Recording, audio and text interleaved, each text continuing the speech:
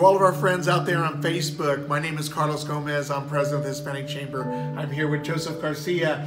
Joseph is producing the first Spanish movie in Kansas City, Kansas ever.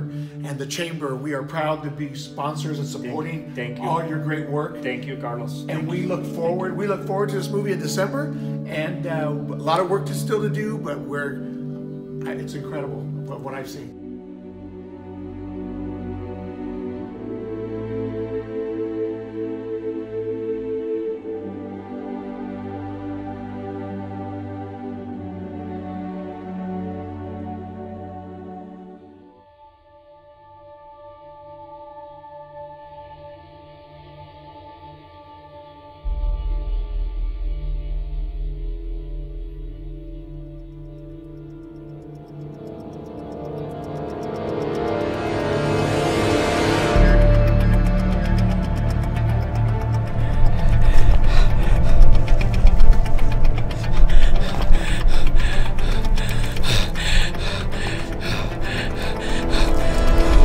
放开